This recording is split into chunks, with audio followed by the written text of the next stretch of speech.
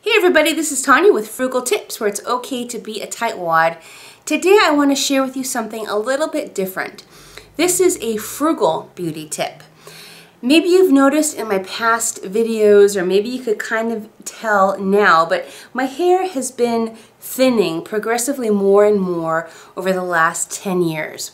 Unfortunately, this is pretty common for both men and women. Unless you want to pay big bucks and get hair plugs or get transplants or even purchase a wig, there's not much that you could do without spending a lot of money. But recently I discovered something pretty cool. I went to get my hair cut and the stylist recommended I try something a little bit different. What she suggested I try is a product called X Fusion. I don't know if you could see that. It's X Fusion. And what it is, this is, it's keratin hair fibers. And I'll just show you briefly, but essentially the container looks like a salt and pepper shaker. And you sprinkle this on top of your scalp and it helps cover up a little bit of the bald spots. I've used this a few times and it works wonders. But enough chatter, let's put this into motion and I'll show you what it looks like. Okay guys, let's give this a try.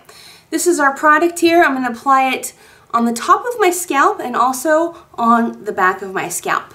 So let's get to work.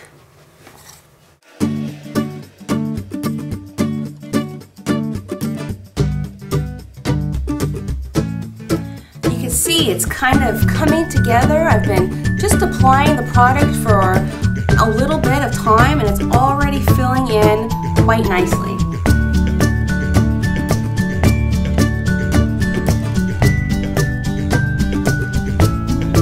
Alright guys, what do you think? It covers up pretty well. Every time I use this product, I am impressed. I just, saw me do it. It just took a few seconds to apply. I got it here on the front and then I also got it in the back. I'm just going to spend a few minutes touching up here. There. What do you think? I like it. Not bad for a $29 price tag. I think the results speak for themselves. I'm going to show you a before and after photo.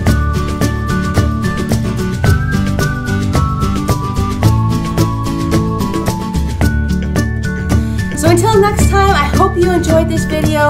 Please thumbs up this video if you liked it. Also subscribe, links below, and I'll see you next time.